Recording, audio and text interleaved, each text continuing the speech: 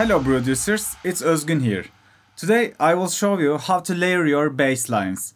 So we will go for a sub bass, a mid layer and a top layer. We will blend them and see how they will sound in a track. If you're ready, let's get into the tutorial. Alright, we are in the FL Studio right now and we have a melody like this, a bass melody.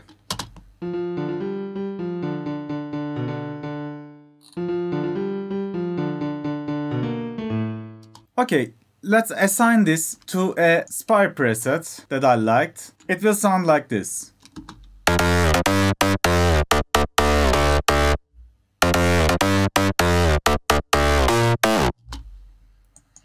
Okay, first of all, we will press Ctrl L and assign this to a new mixer channel and I will call it mid bass because we will add a separate sub bass to it. For this, I can use the Spire again, but let's don't forget to name it mid and let's create the new one as sub. I'll copy the same MIDI to it and I will assign it to another mixer channel. And we should blend them in another channel. Call it bass final or bass bus, whatever you name it. And send them to here, like this. We can use only one sidechain and they can affect all of them. It will help us time and CPU. For my sub bass, I will use the Spire factory preset sub bass. I really like it. But we need to match the polyphony modes, both of them. So it's in mode 4. Log is open, drift is open, and it's like uh, the 12 o'clock in this knob. So I should match my portamento and the mod same. We are trying to blend all the basses as one big giant sound. That's why they need to act same. And let's hear this up. So we need to get rid of the higher frequencies in the bass line.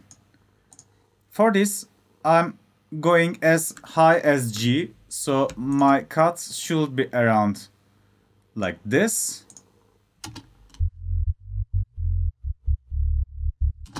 With this, we are having more controls of the sub and the mid separately. So we can design and process the, the, this sound in a more professional way. I cut it in the 110 Hertz. I will just copy this, this preset to my mid bass.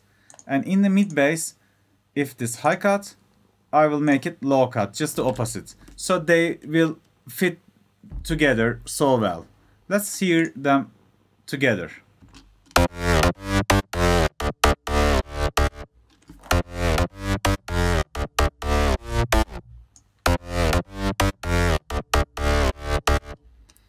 Okay, now I will add one high bass bass to it.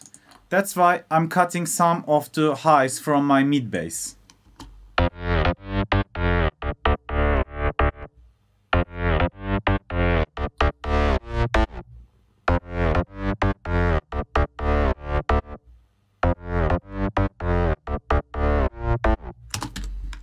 that should enough. And let's clone this and find ourselves a good high bass. I will assign this to a new channel and call it high bass. And I'll route it to bass bus.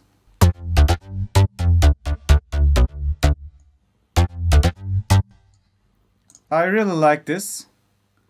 It has uh, really good highs and I like the how it punches.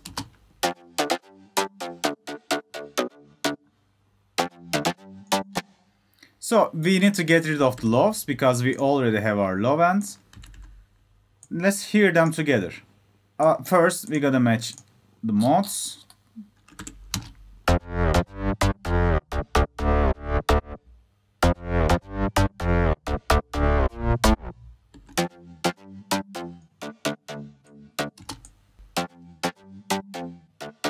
I feel like we can feel the highs better. So I will search one more high bass.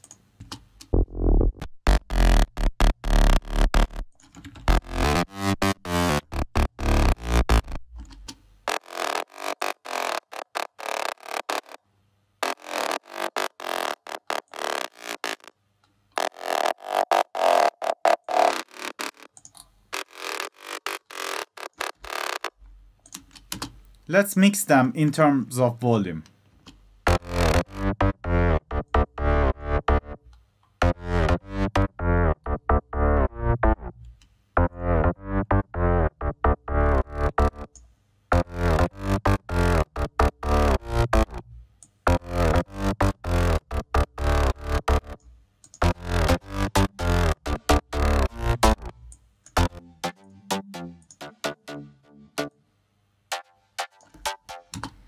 And maybe we put some saturation to the high bass.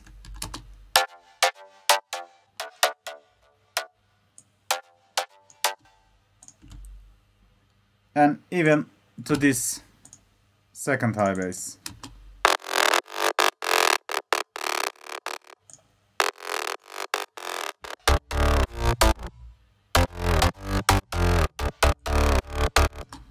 Let's hear with the kick.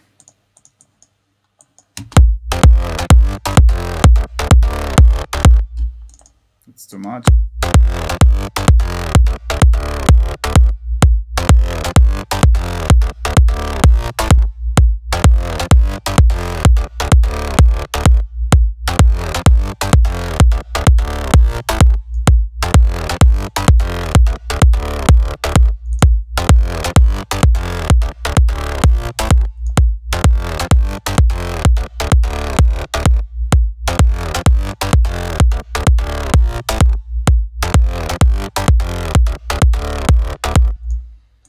And also we can use a glue compressor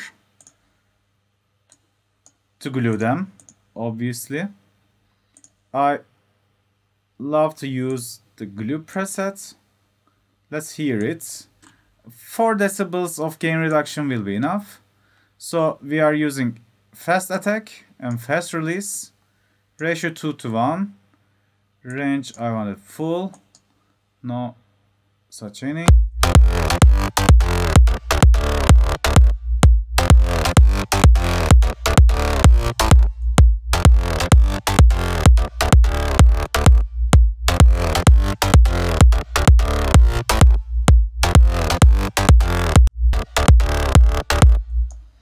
And after that, you can tweak it with your equalizer.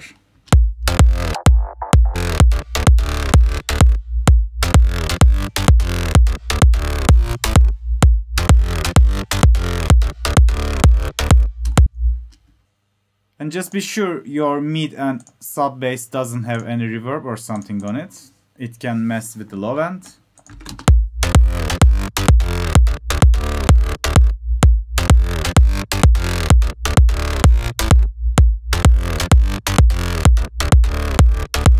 Let's add them some drop elements and hear how they will sound in a mix.